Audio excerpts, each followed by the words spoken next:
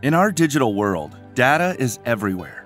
Analytics turn that raw data into an asset through the application of rigorous scientific methods. Embrace analytics, and it can take us on a journey. We may begin in a state of, I don't know, or I think that happens, but we can begin to say, I know something happens 76% of the time. Finally, when we reach full enlightenment, I know if I do this in a certain way, 58% of the time it will lead to this result. Along the way, we'll transition from reactive to proactive problem solving and build an information and decision making highway. A highway where standardized reporting and analysis speeds us towards deeper insights, with less time wasted on manual data cleaning and report making. As we travel, we'll combine hard data with human elements, intuition, and experience, turning each decision into an informed decision.